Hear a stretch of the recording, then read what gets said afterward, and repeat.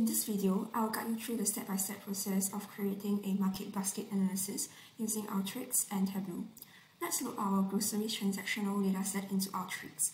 You can do so by using the input data tool to load a file or the text input tool like what I've done here to load the transactions.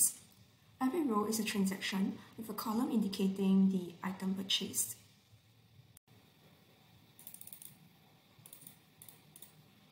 Under the Predictive Grouping tab, let's drag the MB rules into the canvas and connect it to the dataset.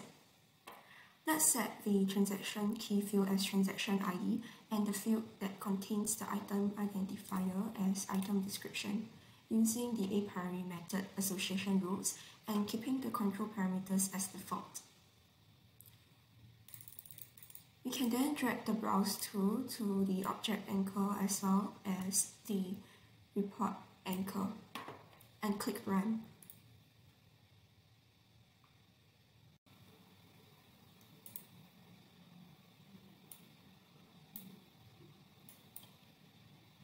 Alteryx generates a transaction data summary report for us, which breaks down the summary statistics of the transactional dataset as well as a rule summary report. From here, we can see that the item whole milk is the most frequent item with a count of 269 and there are a total of 157 rules in our transaction dataset. So to further analyze the rules generated, we can use the MB inspect tool to inspect the patterns in the data. We can connect this tool to the object anchor of the MB rules tool.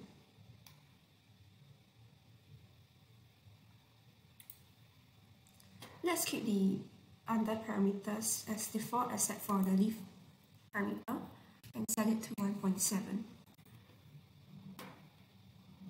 Sorting the association rules by lift. Lift will tell us how these items are more likely to be purchased together compared to random chance. Drag the browse tool to the object anchor and the report anchor and click Run.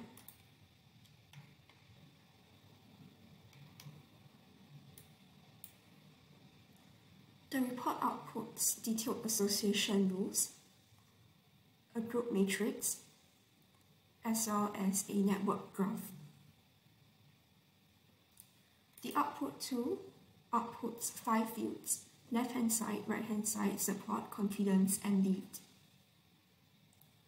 We can save this dataset for matrix as a Tableau data extract and use it to create more visualizations in Tableau to analyze the association rules generated.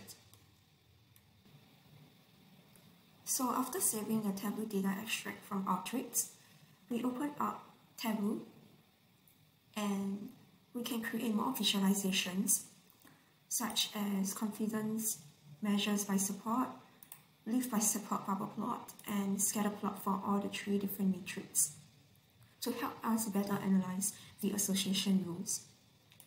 So for example, we can create a bubble plot to visualize lift and support. Let's track the associated item to the text card as well as the basket field and select circle as the mark type. Next, track lift to the color card and select orange blue divergent. Track support to the size card.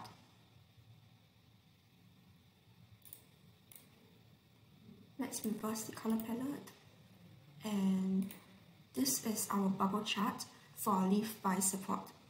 So the bigger the bubble, the higher the support and the redder the bubble, the higher the lift value. You can see that the support of other vegetables and root vegetables is very high, which means that these two items are frequently bought together. While for yogurt and curd, a lift value of 2.73 means that the chances of us finding yogurt in transactions that contain curd in the basket is 2.73 times of the chances of finding yogurt in a randomly selected transaction.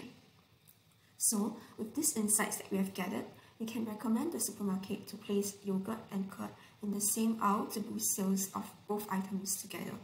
So hopefully with this short tutorial, you can now know how to perform a basic market basket analysis using Alteryx and Tableau.